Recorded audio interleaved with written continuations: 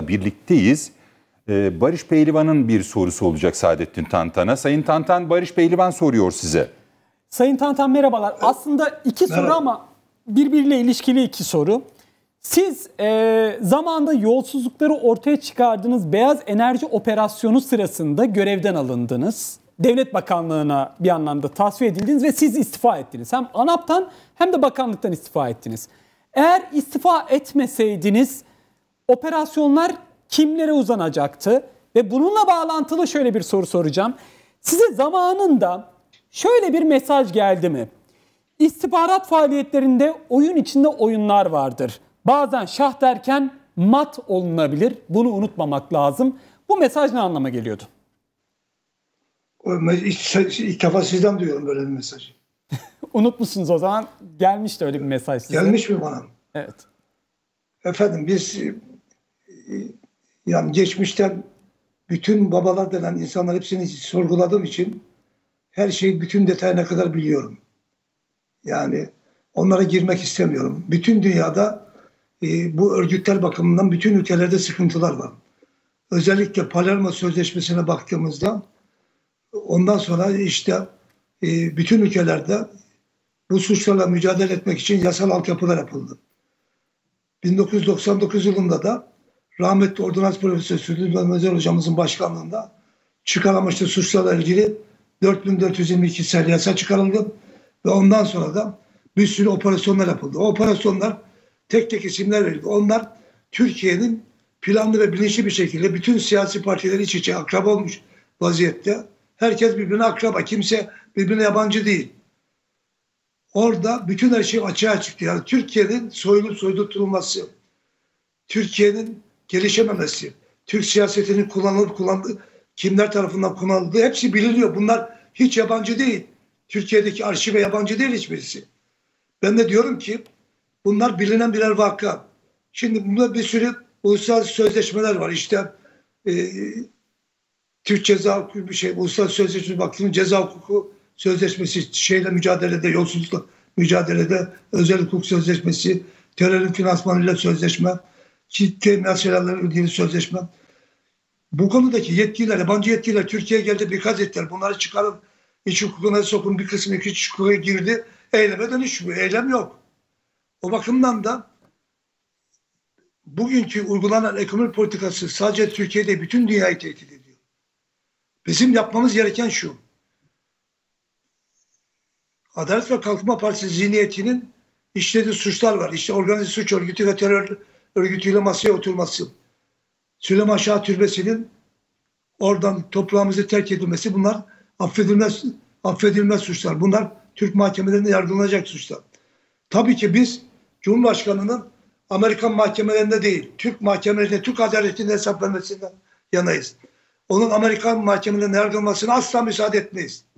Çünkü o şu anda devlet başkanı ve onun her türlü suçu olabilir. O suça karşı ancak Türk adaleti ona mahkum edebilir veya beraat edebilir. Benim demem o ki Türkiye çok tehlikeli bir süreçten geçiyor. Bu büyük oyunun içerisinde belli küresel güçler var. Bu biliniyor. Buna karşı e, hep beraber bir araya gelmemiz gerekiyor. Muhalefeti e, şeyi zorlaması gerekiyor. E, Recep Tayyip Erdoğan'ın ülkesinin milletine geri dönsün diye. Bunu yapabilirse kazanabilir. Peki. Yapacakları şey söylüyorum. Peki. Tek tek söyleyeyim yapacakları şey. Az önce reklam öncesi e, anlattıklarınız onu dinledik. Ona ilaveten söyleyeceğiniz bir şey varsa Sayın Tantan. Şimdi e, süratli bir şekilde süratli bir şekilde e, Cumhuriyet Savcılıklarına harekete geçilebilir. Süratli bir şekilde. Bu konunun uzmanlarını bir araya getirip, bu konu uzmanlarını bir araya getirip özellikle araştırması gereken bu kokainle ilgili dosyaların hemen araştırması gerekiyor. Özellikle e, halkı tehdit eden o mafyamsı tipler var. Onlar bir şey değil. Hiç çok basit şeyler. İki dakikada onlar hemen tasfiye edilebilir. O büyük güç değil onlar. O gücü onlara veren ve Tayyip Bey bilgi aktarmayan, kendisini de kuşatan, kendisini de kirleten etrafındaki zihinsel kuşatmayı da temizlemesi lazım. Yani zihinsel Peki. kuşatma temizlesin. Özellikle Tayyip Bey derin devlet diye bir şey yok. Şunu bilsin ki polisin içerisinde Milli İstihbarat Teşkilatı içerisinde, kamu içerisinde çok namuslu düzgün savcılıkların yani hakimler içerisinde çok namuslu düzgün vatanperver insanlar var.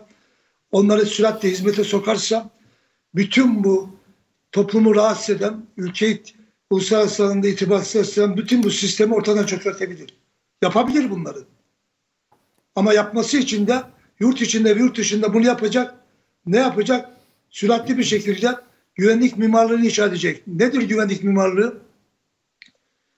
Gerek terör suçları bakımından, gerek uyuşturucu kaçakçılığı, insan kaçakçılığı, iç ve dış ticaret suçları bakımından, gerek çevre suçları bakımından, beslenme suçları, gıda, gıda suçları, sağlık suçları bakımından, biyolojik suçlar bakımından özellikle Türkiye Basın Meclisi içerisinde bunların altyapıları oluşacak, uzmanlar oluşacak, savcı ve hakimler ve bu konudaki e, avukatlar hatta televizyon ve gazete mensupları uluslararası alanda çünkü Türkiye'nin bir algı operasyonu var, algı tehditleri var. Özellikle 4. sanayi devrimi içerisinde gelen Türk zihinlerini çökertmeye yönelik tehditler var. Özellikle hala Türk zihinlerini kirleten, hala televizyon ve gazetede yine yabancı servislere hizmet eden bir sürü aktörler var.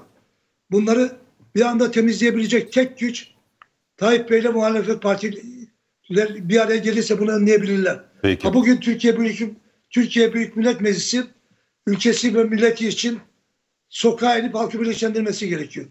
Her şey adalet ve hukuk zemininde olacak. Eğer siz insanları bilgi paylaşmazsanız, bilgi havuzu oluşturmazsanız, bilgi ak- akademileri, enstitüler oluşturmazsanız, e, bilgiyi adaletli bir şekilde eyleme, eyleme dönüştürmek için bir çabanız olmazsa o zaman kaybetmeye mahkumsunuz. Yani halkın önünü açın, siz de gelin halka geri dönün, kazanımlarınızı halka teslim edin ve böylece sizin Amerika'ya tutsaklığınız, Batı'ya tutsaklığınız da ortadan kaldıracak olan yine bu milletin evlatları. Bir başkası değil. Sizi bir başkası uçuruma sürüklüyor. Sizi bir başkası kazanımlarınızı elinizden alacak.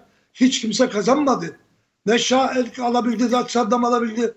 Ne Hüsnü. Mübarek, ne Kaddafi. Ya bunları iyi görmek lazım. Peki. Ben de diyorum ki bunların hepsini halledebiliriz. Zor bir şey değil. Demem o ki Tayyip Bey halkına milletine geri dönsün Gökmen Bey. Başka Peki. soru var mı?